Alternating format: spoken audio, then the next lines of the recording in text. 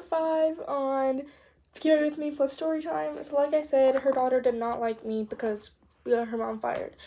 And um, so uh, when I went to practice that day, she was talking and then she looked at me and she went, You. And I'm like, Yeah, me. What do you want to do about it? And then she just walked away and rolled her eyes. And she hasn't talked to me since, and I'm quite glad. And the girls were happy to see me. I returned as my job a back spot, and we're going to competition. And yeah, and I just learned the dance, and that's really all that's happened. I just thought that was a crazy story I should tell with you guys. And I'm still happily in the volleyball team because volleyball always comes first. That's where was our agreement.